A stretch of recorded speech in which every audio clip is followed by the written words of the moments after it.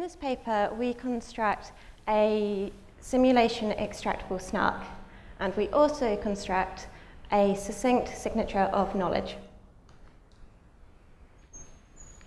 Now, digital signatures are typically used online in order for a user to prove themselves um, trustworthy, that they are who they say they are. Signatures of knowledge are used for much the same purpose, only in this case, the user doesn't want to broadcast to the entire internet who they are. They want to keep their identity secret. One example which uses digital signatures is Bitcoin.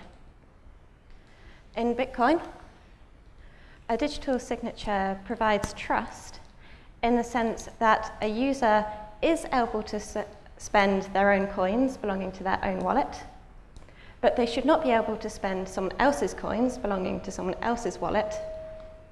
And actually, they, it requires a stronger property that if a user signs off a transaction, then you shouldn't be able to take this transaction and change it in some way, say change the amount of coins that are being sent or the destination address. However, digital signatures are not anonymous. And considering that Bitcoin is a public ledger, this means that a user's spending habits are not just available for government officials and banks, but also for any private company or passerby that happens to be curious. For this reason, ZeroCoin uses signatures of knowledge to get much the same trust guarantees as you would use digital signatures for. However, these are also anonymous. The signature provides no extra information as to who the spender is. However, there are two senses in which they are not that efficient. The first is that to use a signature of knowledge, you actually have to store quite a lot of data in the ledger. And the second is that the signatures themselves take quite a long time to verify, so this puts a lot of extra pressure on the miners. And that's sort of the reason that Zcash chose to use um, zero-knowledge snarks instead, because these are very small and very fast to verify. And they provide exactly the same anonymity guarantees as signatures of knowledge. They, a proof provides no additional information as to who the spender is. However, they do not provide the same trust guarantees. And in particular, on this third point here, in a zero-knowledge snark, it is often possible to modify the proof in some way such that it will still ver verify for a different, potentially false statement. This doesn't mean that Zcash is insecure. They do go to extra measures in order to prevent these styles of attacks. But uh, if they went straight with signatures of knowledge, they wouldn't have to bother with these.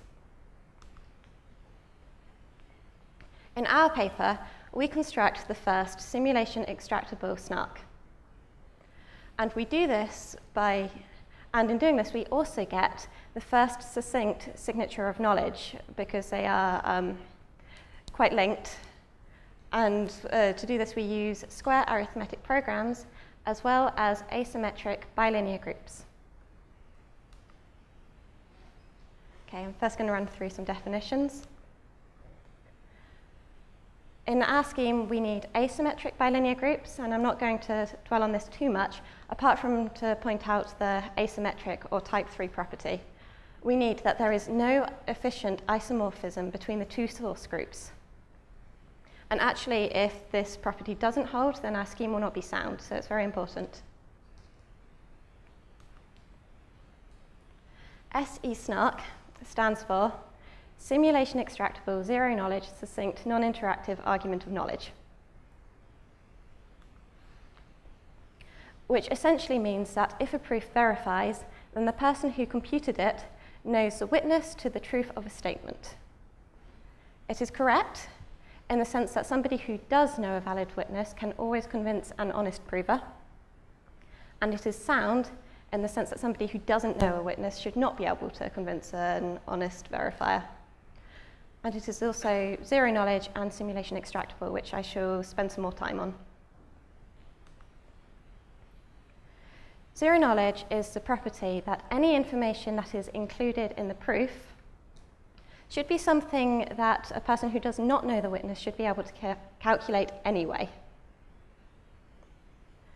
And intuitively, when you hear this, you think that it would break soundness. But in order to be able to compute these simulated proofs, you need access, you need to know the trapdoor.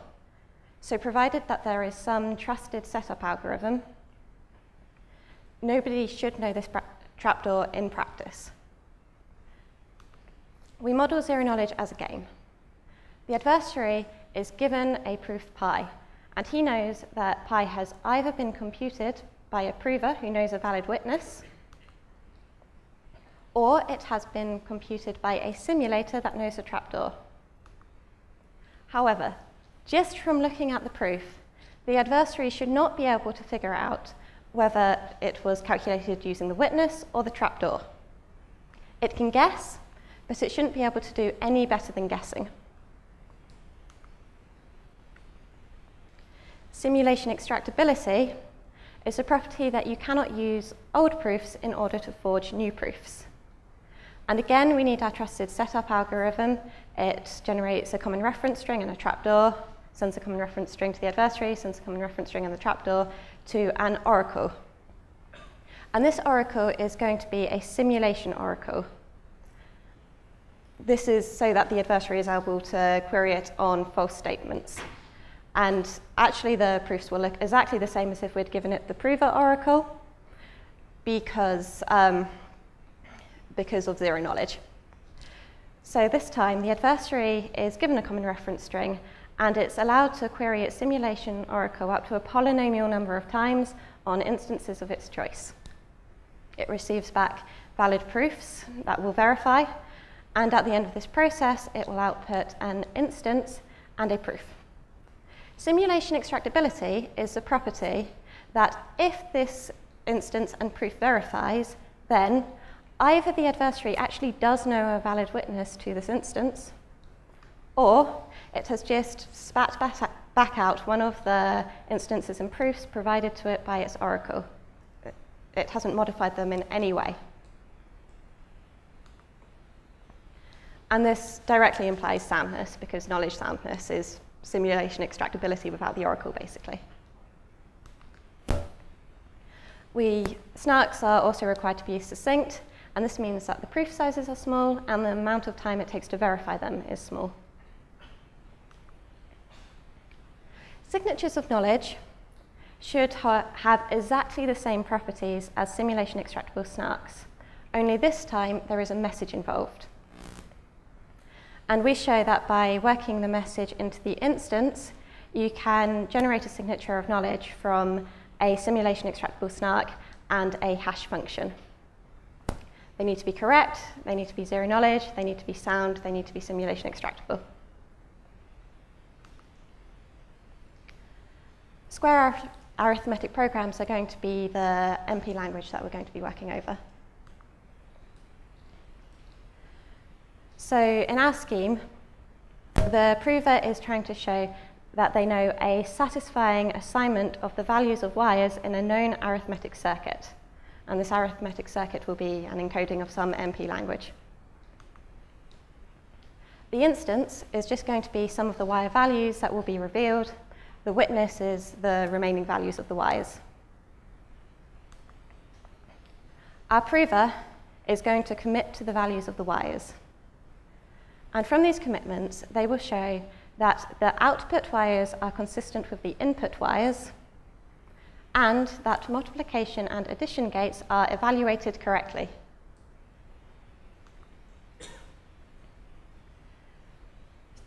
Arithmetic circuits can be described by quadratic arithmetic programs. These are described by a prime, which is just used to describe the field that the arithmetic circuit is over. L here is the size of the instances as well, but the interesting stuff is the polynomials. We have three degree, well, three sets of degree n minus one polynomials, one set to describe the left input wires, the UIX, one set to describe the, white, the right input wires, the VIX, and one to describe the output wires, the WIX. And there is also a degree n polynomial T of x. And a satisfying assignment of wires for an arithmetic circuit will always satisfy this equation here. So you have that the sum of the left input polynomials um, scaled by the values of the circuits, of the wires, sorry, multiplied by the sum of the right input polynomials scaled by the values of the wires is equal to the sum of the output wires scaled by the values of the wires modulo this polynomial t of x.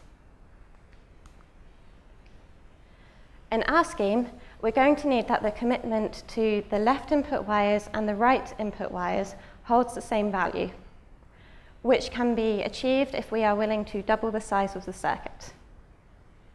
So this time, there is no v of x because the v of x and the u of x polynomials are the same, and rather than a quadratic constraint, we get a squaring constraint.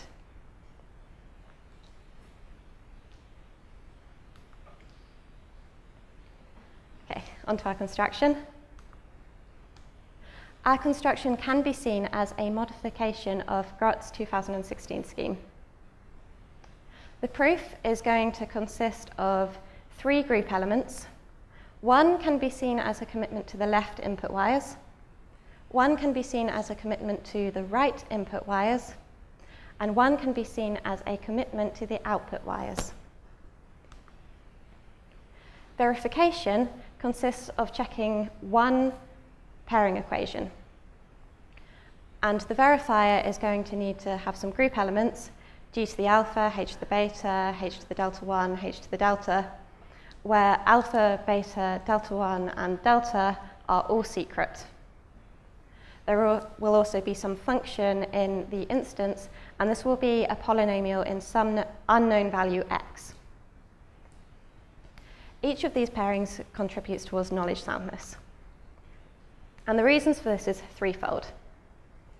First, this function, f of phi, which is going to be included in the exponents, cannot be cancelled out by A or by C or by B because of this 1 over delta term that it is multiplied by. And this essentially forces the prover to use their witness because otherwise they cannot balance that term. Second, the two pairings, E of AB and E of CH to the delta, ensure that multiplication and addition gates are evaluated correctly.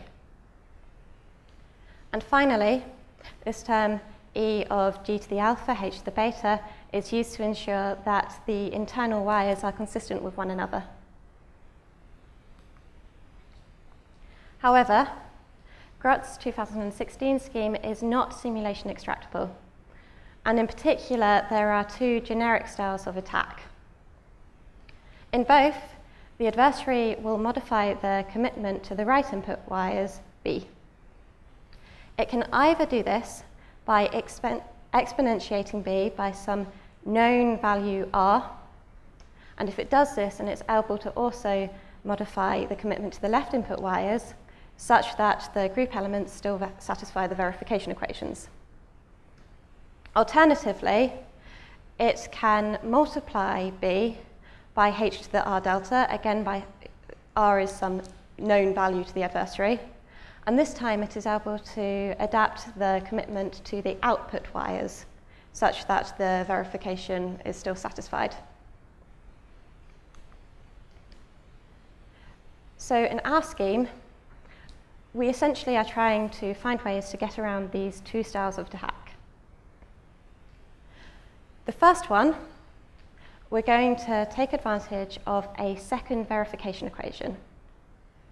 And by including the second verification equation, we can check that the exponents of A and B are the same. This was not the case in Groth's scheme.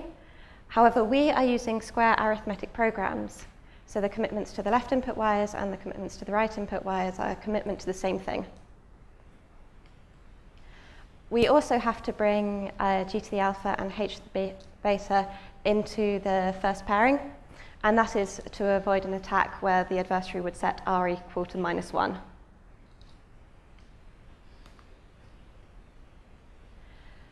In the second style of attack, we're again going to take advantage of this second verification equation, but we were also extremely careful about what we gave out in the common reference string. And in particular, the common reference string is not allowed to contain the generator G. So another way of seeing that is you choose your generator G to the G, G dash, let's say, and you would divide it by 1 over gamma in order to get the secret component. Okay, so now let's suppose that our adversary modifies the commitment to the right input y as b by multiplying it by h to the r.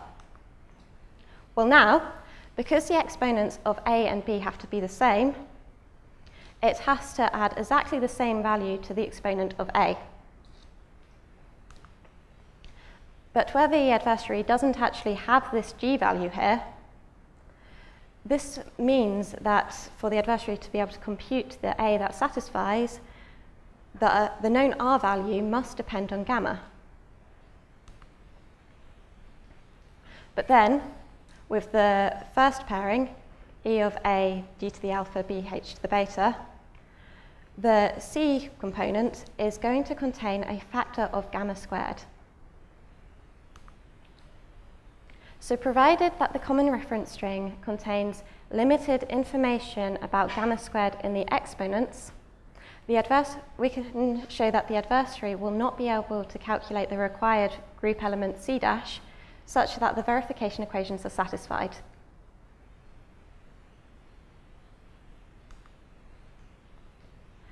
Okay, and I now just need to discuss efficiency a little bit. Our public parameters and the proof of computation is higher than the state of the art. However, other schemes in the literature are not simulation extractable. So this was sort of a cost that we thought that we had to pay, really. However, verification is extremely efficient. There are just two verification equations, and um, the verifier has to multiply things that depend on the instance, but not the witness. Likewise, the proof size is very small. Again, there are just three group elements. And we actually show in the full version of the paper that these two conditions are minimal for simulation extractable snarks. Any pairing-based simulation extractable snark has to have at least two verification equations and at least three group elements. Our scheme was implemented in libsnark by Popov, Kaiser and Madars, and I think this came out a couple of days ago, so feel free to have a look at it. I can't take any credit for that. Thank you very much.